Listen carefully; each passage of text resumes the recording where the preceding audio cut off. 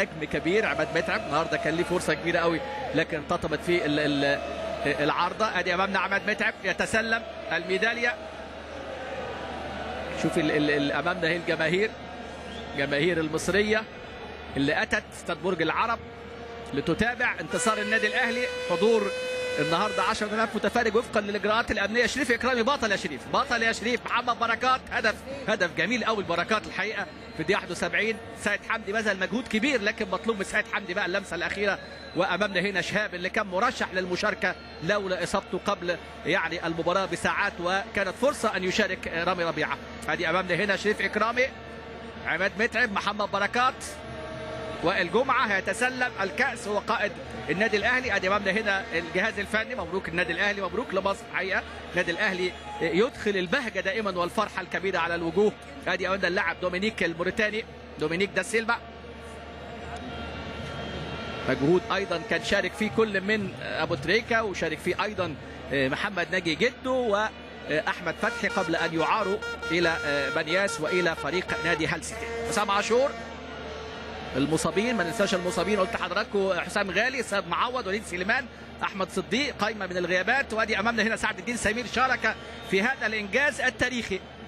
أول ألقاب الأهلي كان على حساب كايزر تشيفز 4 1 نتيجة النهارده ما تعبرش عن اللقاء. الأهلي كان الأكثر فرص الأكثر محاولات ورغم كده فريق نادي ليوبار كان ممكن قوي يخطف التعادل ونصل إلى ركلات ترجيح. كرة رودي في القائم في الشوط الأول دقيقة 38 انفراد كومبو وتصدي شريف إكرامي لكرة جنزي الأخيرة والمتابعة اللي كانت من وائل جمعة النهارده أهو. أكيد أجمل احتفال لوائل جمعة حقيقة هذا النجم صاحب الأداء المتميز القدوة الحقيقة في اجتماعه بزملائه اللاعبين أمامنا هو نائب رئيس نادي ليوبار ورئيس اتحاد كرة القدم جمال علام. وهنا بقى كأس البطولة من العمري فاروق عيسى حياته. يسلم العمري فاروق كأحد أبناء النادي الأهلي. وزير الرياضة هنا يسلم في حضور كابتن حسن حمدي رئيس النادي الأهلي الكأس السوبر الخمسة في تاريخ النادي الأهلي. ألقاب وأرقام يا أهلي. ألقاب وأرقام يا أهلي. تسعد الجميع من خلال هذا الأداء. وائل جمعة يرفع كأس البطولة في هذه اللحظات. الأهلي كما عودنا جميعا الأهلي بطلا. هو عنوان ليس بالجديد لأن الأهلي دائما وابدا له الجديد. وله الروح وله العزيمة. في جيل جديد اليوم النادي الأهلي في وجود رامي ربيعة في وجود تريزيجيه في وجود سعد الدين سمير في وجود هذه الأسماء الشابة هذه الوجوه الشابة. الأهلي لقب جديد يضاف إلى خزائنه والقاب وبطولاته. هي لحظة تذكاريه ولحظة الصورة الغالية. صوره يعني أكيد يعني أسعد من فيها هو الجهاز الفني وأمامنا هنا الفرحة. أهلي أهلي. هو الشعار هو العنوان هي الكلمة في هذه اللحظات بهذه اللحظات الجميلة. نتابع الإصرار بالفعل اليد الطولة هي من تنال لقب البطوله الأهلي.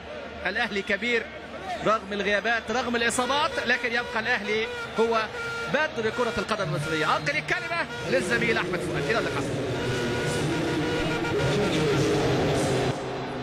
شكرا لزميل علي محمد علي اذا مشاهدينا هذه الصور التي تأتينا من استاد برج العرب بالإسكندرية والفرحة التي دائما ما يصنعها النادي الأهلي صانع الأفراح للرياضة المصرية في الأيام الصعبة التي تمر على مصر.